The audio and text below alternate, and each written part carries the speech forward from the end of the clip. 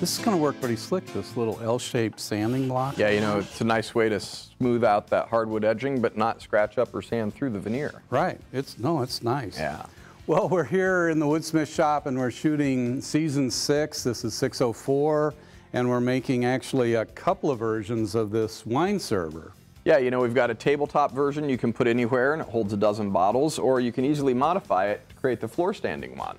Yeah, this is kind of neat. It's got space for wine glasses up above and then the wine bottles down below, and a lot of actual uh, techniques on how to make these trim strips and other techniques in this whole thing. Yeah, you know, the plywood box with the solid wood edging, and then there's also the solid wood dividers that make a compartment for each bottle. That's cool. And they're made with this slick interlocking joint, very easy.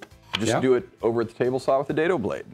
So this is season six of the Woodsmith Shop. Now, in order to see it, you may want to contact your local public TV station. Somewhere on this page, there's a button that says contact your local station. So you can call or write or email them and just say you want to see season six of the Woodsmith Shop.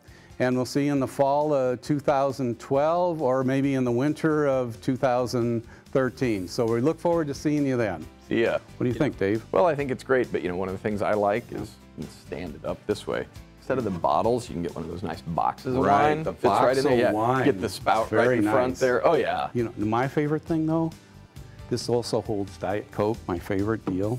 Yes. And it's got this shelf here. Mm-hmm. So M&Ms fit right on there, so you have a nice pairing of the M&Ms and some of your favorite, the classy wine. Yeah, we're all about sophistication. Okay, well, let's actually get this thing built. That's probably All a good idea. All right.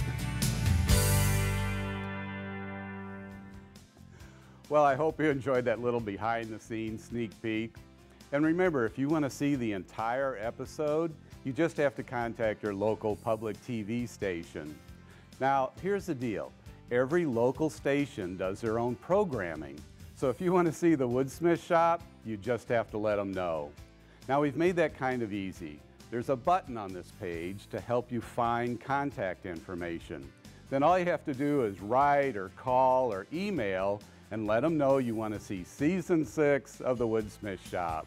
Well, I'm looking forward to seeing you again right here in the Woodsmith Shop.